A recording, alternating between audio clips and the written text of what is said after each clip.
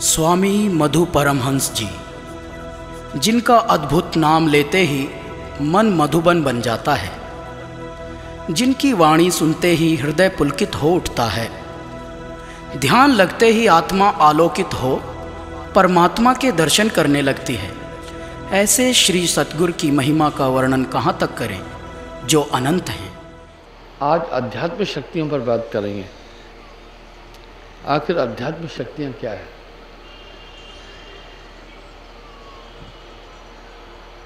सुनने और समझने में तीन चीज़ें प्रत्यक्ष दिख रही है। तीन शक्तियाँ। शारीरिक, मानसिक और आध्यात्मिक। शारीरिक शक्ति सबकी अलग है। ये समान नहीं है।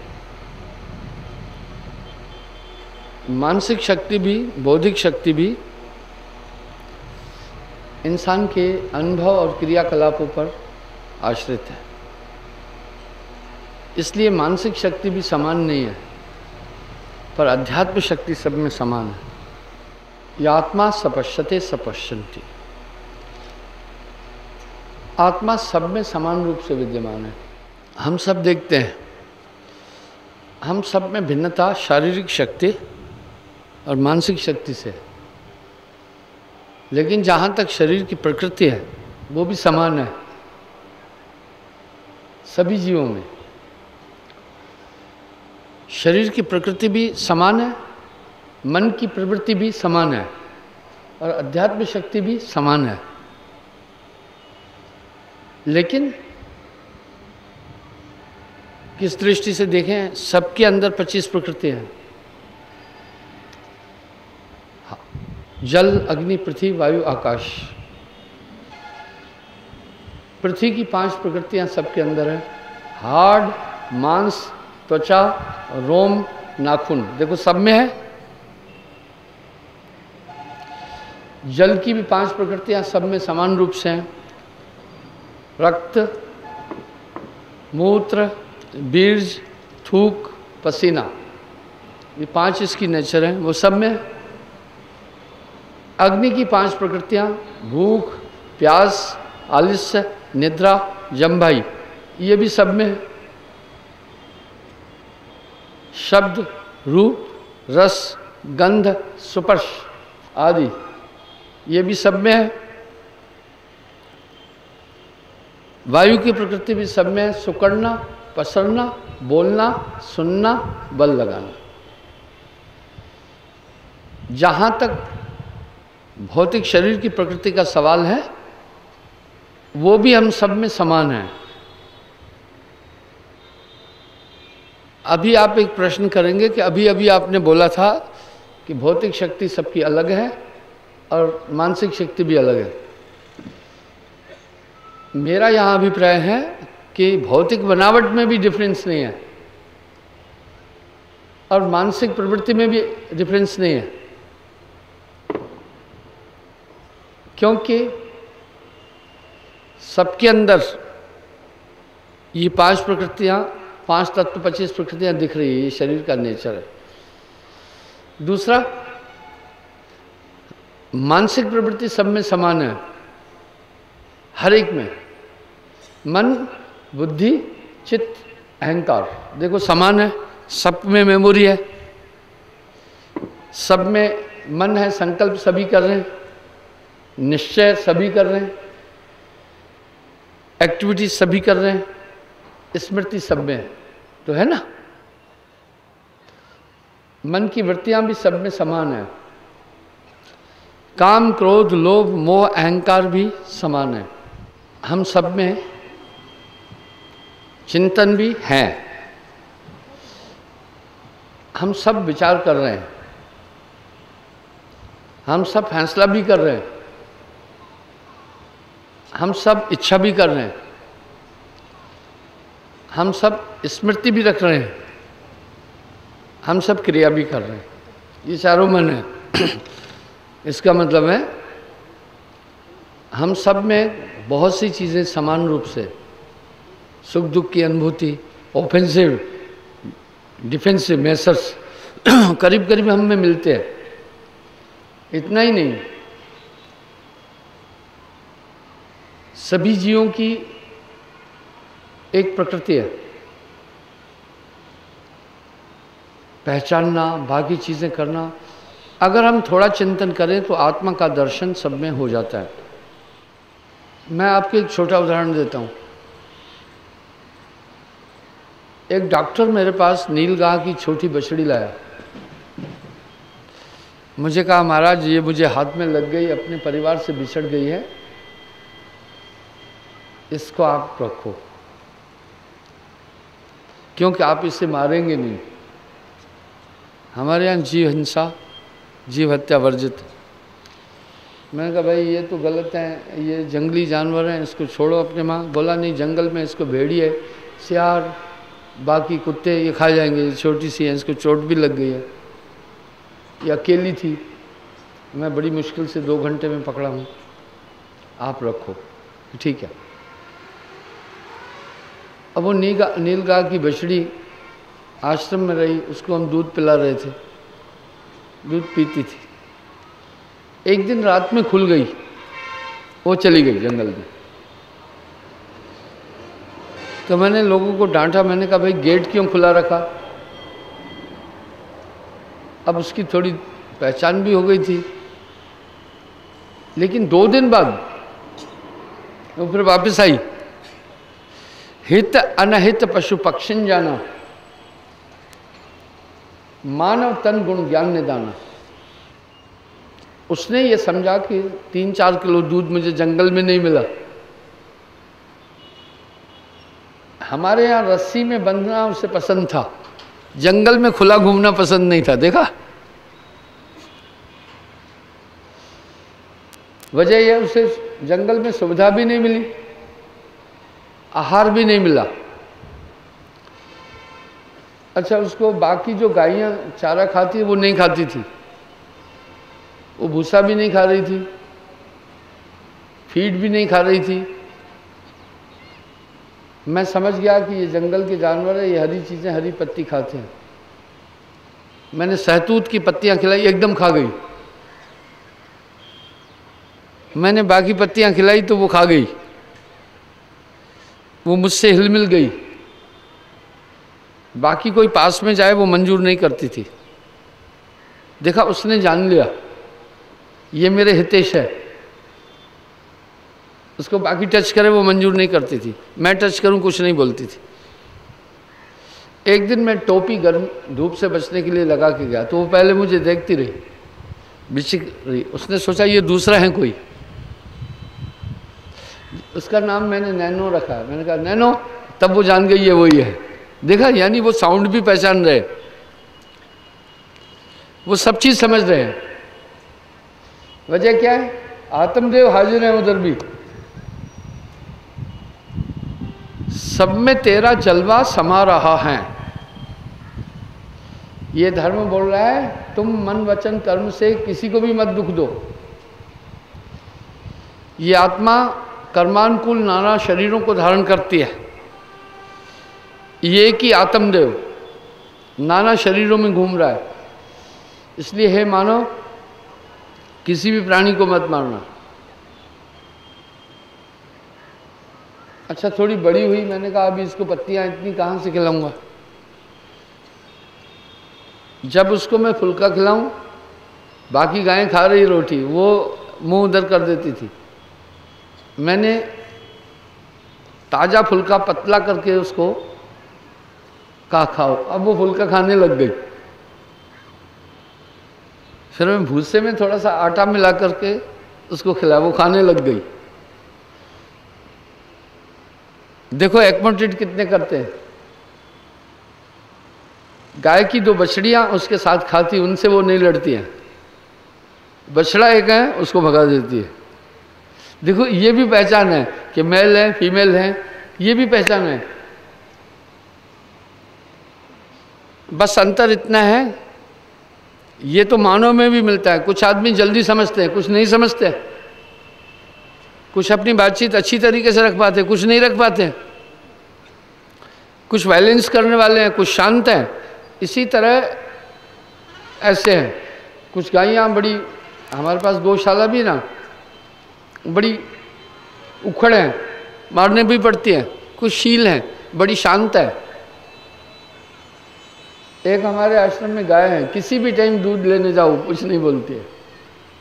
कभी कभी अचानक कुछ लोग आ जाएँ तो दूध नहीं होता है तो कहते, वो कहते, उसी भूरी गाय का ले आओ, वो मना नहीं करती है। देखा कितनी शील है।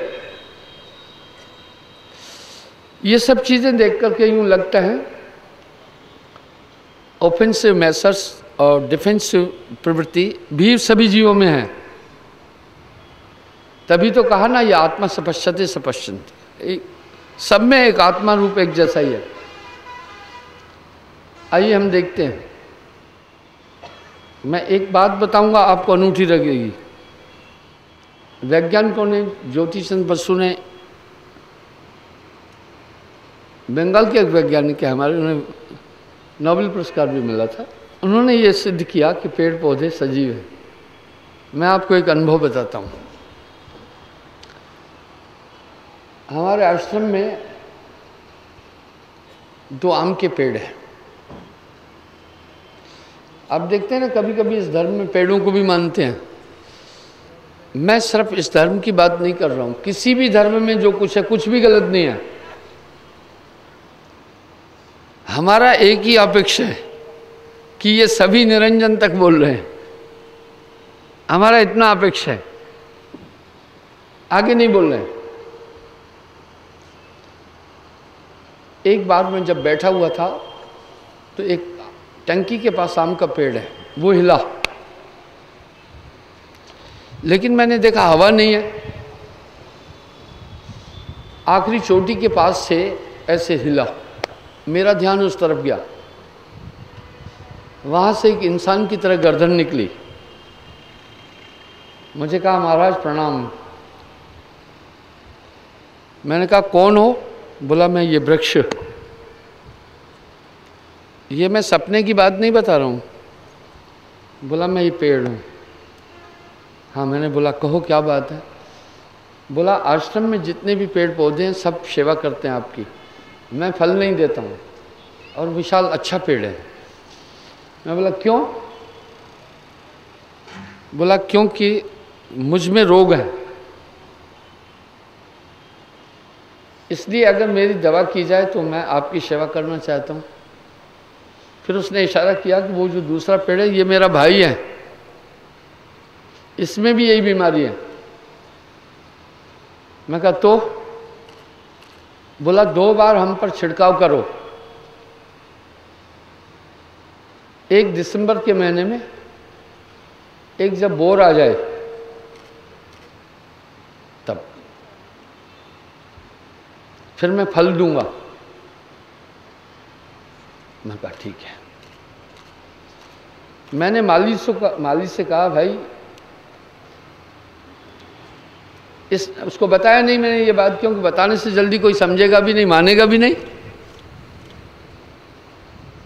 मैंने कहा, भाई ऐसा करो, इसमें दवा छिड़कना दो बार। उसने कहा, ठीक है। उसमें पहले भी बोर आता था, लेकिन इतनी छोटी सी अंबियाँ होकर के गिर जाती थी। कभी उसका फल नहीं लगा। उस बार उसको फल लगा। बहुत कम लगा। जब मैं उस पेड़ के नीचे से बाथरूम के लिए जाने लगा। पास ही एक पेड़ मेरे साथ एक फल मेरे सामने गिरा। मैंने ऊपर की तरफ़ देखा, मुझे कहा, महाराज, ये ज़रूर खाना।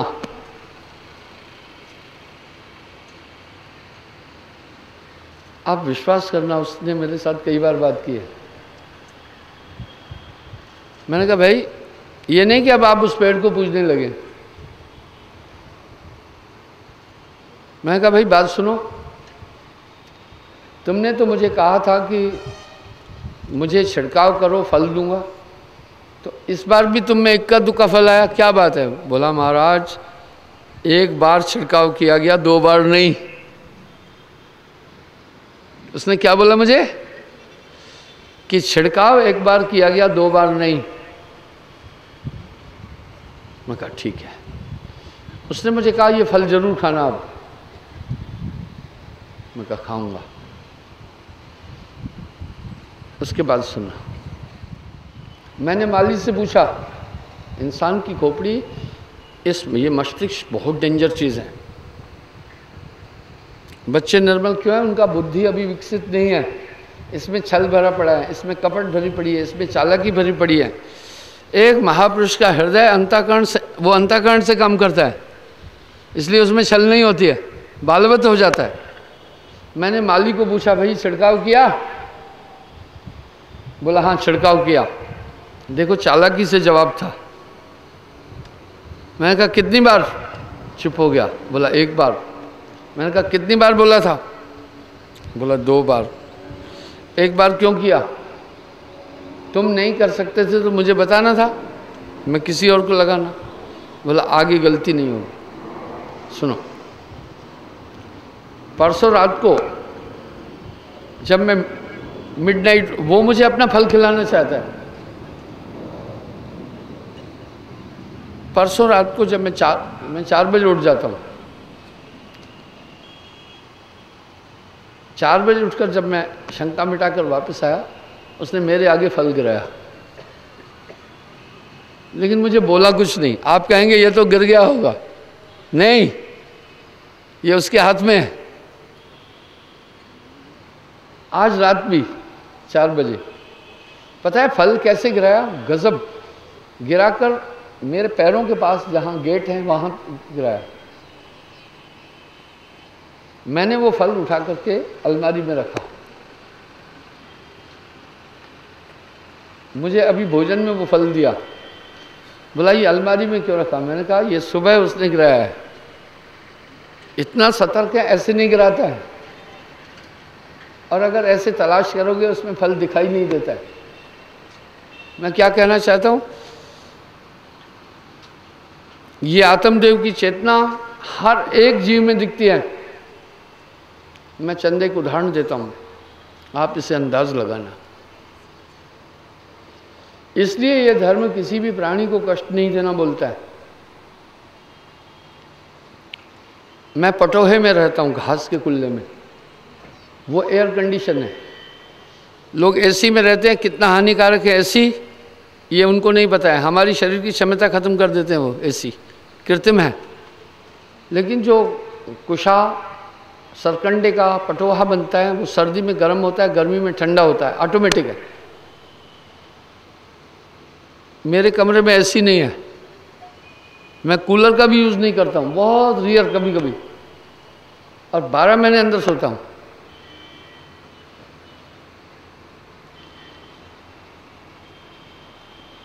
देखिए सभी जीवों में कितनी चेतना है। तो मेरे कमरे में चूहे भी हैं। जब मैं अकेला होता हूँ, वो नहीं भगते, उनको पता है ये कुछ नहीं बोल रहा। है उन्होंने ये जान लिया।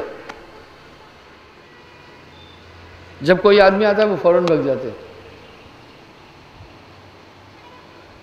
और उनके सोने की स्टाइल भी निराली है। नवार की खटिया है मेरी, बुनी हुई। तो बीच में गैप होता है। डबल बुनी है ना? एक जगह उन्होंने छेद कर रखा है, अंदर आ जाते। जैसे लाइट ऑफ़ करता हूँ, पंद्रह बीस आ जाते आराम करने के लिए। तब आपस में वो लड़ते हैं, ये मेरी जगह, ये मेरी, मैं यूँ कर चुप हो जाते। वो जान जाते, ये बुरा मान रहे। कितने इंटेलिजेंट है। मेरे बैग में काजू या मिल्क केक बर्फ़ी होती है कभी। वो जीप, वो टुकते नहीं हैं। जीप खोल करके तब डब्बे को काट करके मिठाई खाते हैं। वो सोचते हैं इनका नुकसान भी नहीं करना है। देखा कितने इंटेलिजेंट है।